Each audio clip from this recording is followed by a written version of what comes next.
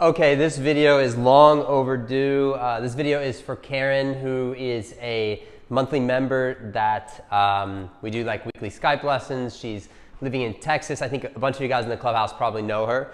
Um, she has chimed in on some things. I've done some videos for her in the past that that are specifically for her, but I think you guys can benefit from too. So this one, especially this one, you guys can all benefit from. So I hope this one helps you, but I, I really think if you just really try what I'm about to suggest, it's gonna make a huge difference in your putting. So, number one, Karen asked me about some drills, some things she could work on in her putting. The number one thing I wanna say to you guys is that we don't know how good of a putter you are with your original putter that you're using right now and with your current putting stroke. We don't know how good you are right now. We have no idea. And the reason we don't know is because I can say with certainty that the majority of golfers don't fully focus on their intention when they're putting.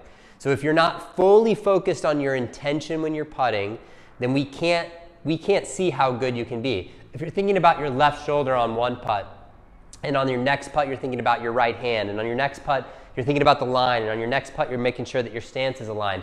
These are all separate or different intentions, and so you're you're constantly just bouncing around idea to idea to idea. So we never really get a chance to see how good of a putter you could be if you would just focus on one intention. So that being said, the next question really I think is what should that one intention be? And I will say that, I mean, I will go on record forever saying this. Your one intention in putting should be to roll the ball down the path that you visualize and have it end up in the hole. That's it. Now, how you get that done is there are a lot of different things. You can choose a certain putter that acts a certain way. You can uh, work on your stroke to make it perform a certain way. But at the end of the day, the only intention that you should be focusing on, or the most important thing that you should be focusing on when you're putting, is that path that you see that if you trace that line, you'll go into the hole. And this is no different than like anything else you do in your life. And I know it's cliche, but think about a free throw shot you don't have to think about your fingertips when you shoot a free throw to, to create backspin on the ball, to create the perfect rotation on the ball. And even if you didn't have the perfect rotation on the ball, if your shot gets the ball in the hole, that's fine. Your technique is completely fine. So, a free throw, throwing a piece of trash in the trash can, um, throwing a ball from here to there, from me to you, these things are things that as human beings we are built with the ability to manage. And over time, the more stuff that we do that's, that's sort of relative or compared to or similar to putting, the more stuff that we do over the course of our lives, the better we get at actually doing that, these things. So if I'm five years old and you ask me to throw a piece of trash in the trash can, my odds of making it are, I don't know, they're small, probably like one in five or something like that. But by the time I'm 30, if you give me that same piece of trash, I've got much better odds. It's not because I spent 25 years practicing my my arch to the trash can, it's because I lived for 25 years, I picked things up, I them, I tossed them, and because of all those experiences, I now have this really cool instinctive or innate ability to move objects in space toward a target. So if I've got that, if I've played golf for a few years, if I've played tennis, basketball, football, soccer, ping pong, anything where I've seen an object in space move toward a target, then I have a bunch of instinctive, innate ability when it comes to moving an object in space toward a target. So, it's a pretty long-winded thing to, way to say it, but I, I really want to impress this upon you. The number one most important thing you should be doing in your putting is visualizing the track or the path or the line that you, in, for, that you intend the ball to roll down to go into the hole. First, visualizing that path or that track. And number two, can instinctively and intuitively to roll the ball down that path into the hole. So, Karen specifically, I'm speaking to you now. You are a great golfer. You're playing the best golf of your life. This has been an awesome winter. I'm really happy that I got to be a part of it. I'm, I'm loving hearing your scores and these stories, and you're finishing better than you've ever finished. When it comes to putting, now that you are hitting more greens in regulation, now that you are giving yourself all these opportunities, when it comes to putting, I want you to spend the next 30 days with only that intention. So we're going to dump your shoulder thoughts, we're going to dump the triangle, we're going to forget about rocking, we're going to forget about all that stuff, and we're just going to focus on if I asked you the question, Karen, can you imagine a path for this ball to roll down and go in the hole?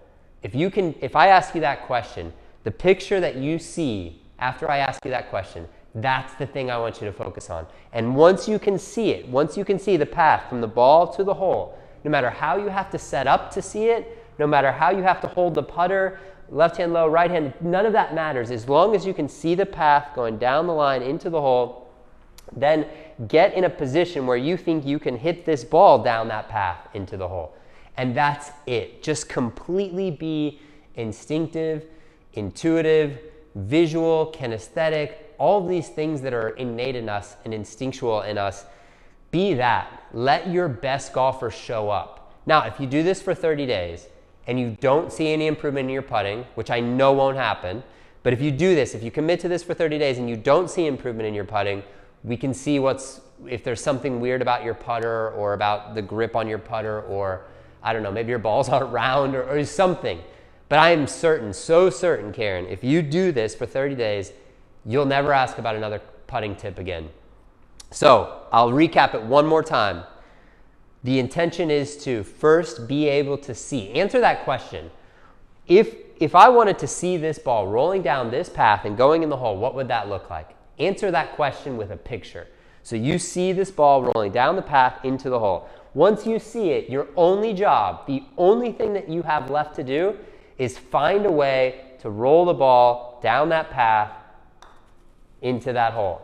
Now, I made a, a Green Master course um, on the website on the samgouldenGolf.com that all of you guys should have access to if you're in the clubhouse. If you don't have access to it or you haven't seen it, um, shoot me a quick message and I'll make sure that you do.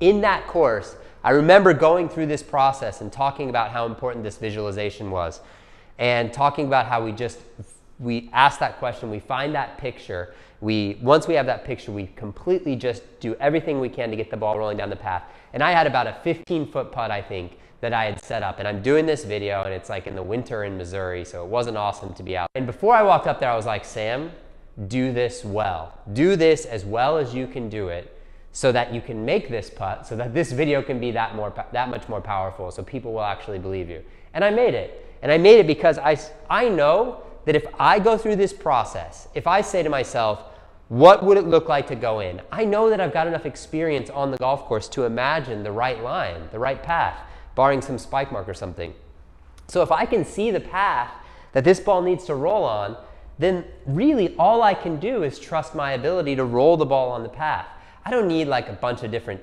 techniques. I don't need a special putter. I just need to be able to see that path clearly and then let my instincts take over to roll the ball on that path.